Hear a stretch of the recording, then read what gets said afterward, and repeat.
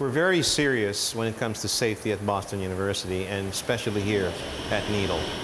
Part of my role as the Director of Research Safety in Environmental Health and Safety is to ensure that we have a comprehensive environmental health and safety program across the university for biosafety level 2, 3, and 4.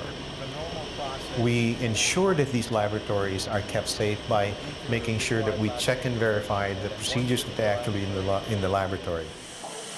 Training for laboratory safety personnel is key and very important.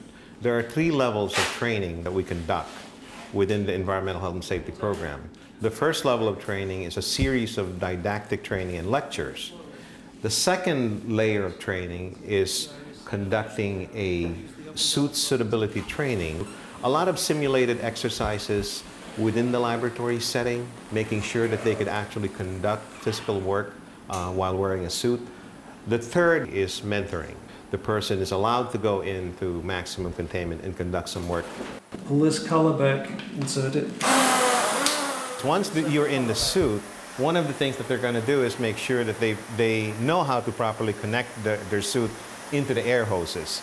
Now the air hoses are actually connected onto a HEPA filter to ensure that the air that's coming into the suit is, is clean.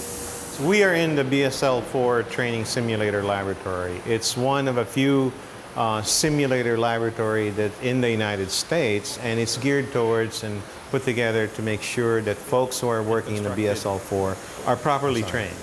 The Biosafety Level 4 was built and constructed to meet and exceed the regulations, both federally, local, and statewide.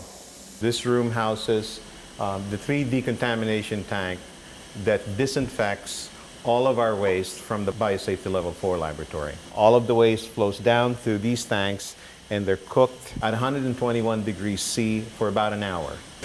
The plumbing pipe that comes down from the BSL-4 are actually double pipe. There's an internal main pipe and there's an ex external pipe that actually surrounds the main pipe to protect it from leaks. We are situated in the mechanical space for the biosafety level 4.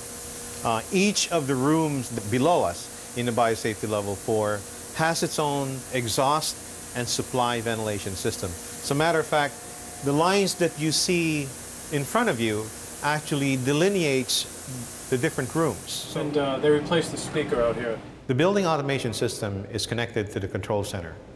The building automation system monitors not just security, but also safety of containment within the BSL-4.